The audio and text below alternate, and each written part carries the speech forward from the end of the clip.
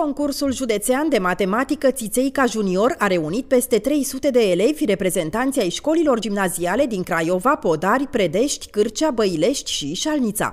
Aflat la prima ediție, concursul și-a propus să ofere elevilor interesați de obținerea performanțelor ridicate în studiul matematicii un cadru adecvat și propice de evaluare și de informare. Concursul uh, s-a bucurat de un real succes, uh, ținând cont că au participat elevi de clasele pregătitoare până la clasele a patra, atât din școli din Craiova, cât și școli din județul Dolj, precum Băilești, Cârcea uh, și alte, alte localități ale județului Dolj.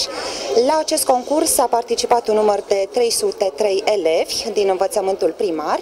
Premiile au fost destul de generoase, dovada muncii depuse de elevii care au uh, participat, astfel încât câștigător putem să spunem că a fost un număr, au fost un număr de 157 de elevi.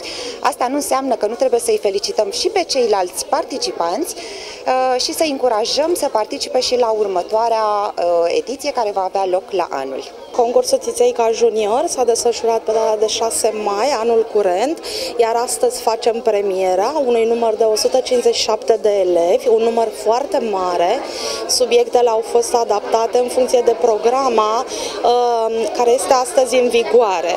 Uh, dar cu ajutorul părinților uh, am uh, făcut uh, eforturi și uh, în afara diplomei pe care o vor primi cu toții, vor primi de asemenea uh, și mici cadouri și le mulțumim pe această cale tuturor părinților uh, pentru că s-au implicat uh, în această festivitate ce ne-am dorit-o cu toții a fi în sprijinul și în beneficiul elevilor. Festivitatea de premiere a avut loc într-un cadru festiv alături de părinți, bunici și cadre didactice pregătite să felicite performanțele celor mici.